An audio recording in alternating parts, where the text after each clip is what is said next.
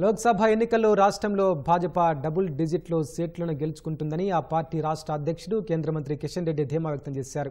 శాసనసభ ఎన్నికల్లో ఆశించిన సీట్లు సాధించకపోయినా అద్భుతమైన విజయాలను భాజపా సొంతం చేసుకుందన్నారు.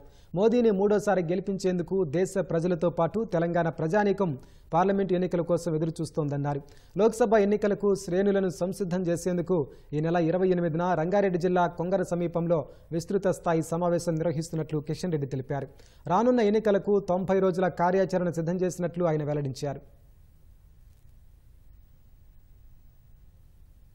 ఇటీవల జరిగినటువంటి శాసనసభ ఎన్నికల్లో మేము అనుకున్న ఫలితాలు రానప్పటికీ కూడా మా ఓటింగ్ పర్సెంటేజ్ గానీ మా సీట్ల సంఖ్య గానీ అత్యంత అద్భుతంగా మెరుగైంది. హండ్రెడ్ పర్సెంట్ ఓటింగ్ పర్సెంటేజ్ పెరిగినటువంటి పార్టీ ఒక భారతీయ జనతా పార్టీ ఎన్నికల్లో. వచ్చేటువంటి పార్లమెంట్ ఎన్నికల్లో కూడా పూర్తి స్థాయిలో సంసిద్ధం కావాల్సినటువంటి అవసరం ఉందన్నటువంటి భావనతో ఇరవై ఎనిమిది తేదీ సమావేశం ఏర్పాటు చేయడం జరిగింది. ఈ సమావేశానికి కేంద్ర హోంమంత్రి అమిత్ షా గారు పాల్గొంటారు. ఎయిర్పోర్ట్ రింగ్ రోడ్ దగ్గర కుంగర విలేజ్ దగ్గర ఉన్నటువంటి శ్లోక ఫంక్షన్ హాల్లో ఈ సమావేశం ఉంటుంది. శాసనసభ ఎన్నికలప్పుడు కూడా చాలా మంది గ్రామీణ స్థాయిలో ఉన్నటువంటి ఓటర్లు గాని ప్రజలు గాని అన్ని వర్గాల ప్రజలు కూడా ఎన్నికల్లో మీకు ఓటు వేయకపోయినా వచ్చే పార్లమెంట్ ఎన్నికల్లో ఢిల్లీ ఓటు నరేంద్ర మోడీ గారికే ప్రధానిగా ఓటు నరేంద్ర మోడీ గారికే అనేటువంటి విషయము చాలా స్పష్టంగా అన్ని వర్గాల ప్రజలు చెప్పారు. ఎన్నికలు ఎప్పుడొస్తాయా మోడీ గారికి మద్దతు ఇవ్వాలి అనేటువంటి ఆలోచనతో తెలంగాణ ప్రజలు కూడా దేశ ప్రజలతో సహా ఎదురు చూస్తున్నారు. ఖచ్చితంగా నరేంద్ర మోడీ గారు అద్భుతమైనటువంటి మెజార్టీతో ఎవరు ఊహించని విధంగా